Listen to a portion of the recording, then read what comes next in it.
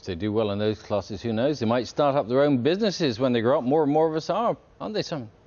That's absolutely true, Bill. Uh, You know, it's quite an important thing to get kids uh, started in, um, you know, finance. For you know, for example, when they have a mobile pho phone or stuff, they need to know how much money to top it up. And you know, we're becoming sort of, you know, financial beings earlier and earlier uh, in life. And many young people, as Bill says, starting our own business. In fact, the number of people uh, starting their own business increased by 117% in the last five years. And crucially, they're being very successful. These are very resilient businesses in the downturn, according to research by Experian. That's good news for people like Nick Troen, who set up his burrito bar business last year.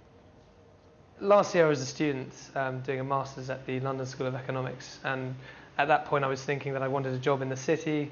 Uh, it was mid-recession, I thought I want a safe place I can go and get my pay packet at the end of the, uh, the month. But uh, halfway through after thinking over a lot and having a, a few negative job applications, um, the idea of sort of being an entrepreneur came forward. It was a combination of wanting to start my own business and also not really having the uh, opportunities that I wanted coming from the uh, city job sector. And I think that if you have a really good idea and you pitch it well enough, you do your research and you have your numbers to hand, uh, then you should be able to convince people that you're onto the right track and solicit funds. People don't want to just leave their money in a bank where it's gaining 0.01% interest.